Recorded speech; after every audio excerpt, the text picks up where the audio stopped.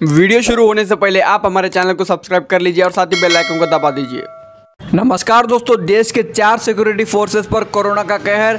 अब तक 6,719 जवान संक्रमित। जी हाँ दोस्तों आपको बता दूँ कि देश में तेज़ी से बढ़ रहे कोरोना वायरस की महामारी से सिक्योरिटी फोर्सेस भी अच्युत नहीं है। सिक्योरिटी फोर्सेस में कोरोना का कहर अभी भी जारी है। जितनी तेज़ी से कोरोना संक्रमण फैला है उतनी तेज़ी से ही संक्रमित जाबाजों ने संक्रमण को मात भी दी है। जानकारी के मुताबिक कोरोना से संक्रमित अट्ठानवे फ़ीसदी जवान ऐसे हैं जिनमें संक्रमण के कोई लक्षण दिखाई नहीं देते हैं।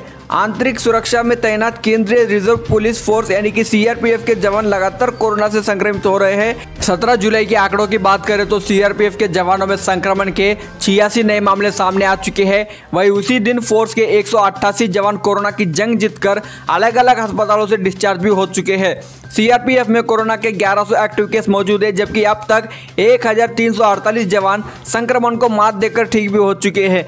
सीआरपीएफ के एक अधिकारी के मुताबिक बल के 14 जवानों की कोरोना के कारण मौत हो चुकी है।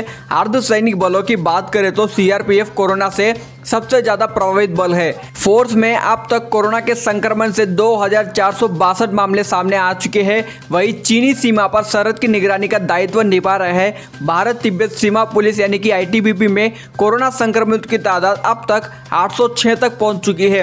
पिछले 24 घंटों में बल के 32 जवान कोरोना पॉजिटिव पाए गए हैं। आईटीबीपी के 371 संक्रमित जवान पूरी तरह से ठीक होने के बाद ड्यूटी को ज्वाइन कर चुके हैं। वहीं 435 जवान का अभी भी उपचार चल रहा है। पाकिस्तान और बांग्लादेश की सीमा पर तैनात बॉर्डर सिक्योरिटी फोर्स यानी कि बीएसएफ में भी हालत कुछ बेहतर नहीं है। बल में संक्रमित जवानों की तादाद सीआरपीएफ की तरह ही तेज़ी से बढ़ रही है। 15 जुलाई तक बीएसएफ के कोरोना संक्रमित जवानों की तादाद दो हज़ार तिरानवे पहुँच गई थी। जानकारी के मुताबिक संक्रमित पाए गए जवान कोरोना ड्यूटी पर तैनात थे। बताया जा रहा है कि 15 जुलाई को एक दिन में बीएसएफ के अड़सठ जवानों की रिपोर्ट कोरोना पॉजिटिव आई थी। अधिकारियों के मुताबिक बीएसएफ में कोरोना के 1024 एक्टिव केस मौजूद है। वही 1060 जवान कोरोना को मात देकर ड्यूटी ज्वाइन कर चुके हैं। इसके अलावा देश के एयरपोर्ट की सुरक्षा पर तैनात केंद्रीय औद्योगिक सुरक्षा बल यानी कि सीआईएसएफ के एक हज़ार तीन सौ अट्ठावन जवान ड्यूटी के दौरान कोरोना से संक्रमित हो चुके हैं। कोरोना संक्रमण के कारण अब तक सीआईएसएफ के नौ जवानों ने अपनी जान गंवा चुकी है।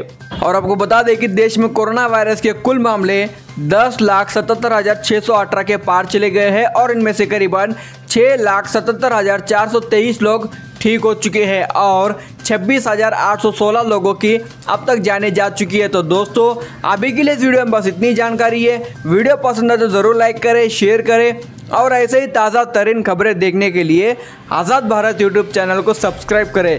वीडियो देखने के लिए आपका बहुत बहुत धन्यवाद। जय हिंद वंदे मातरम।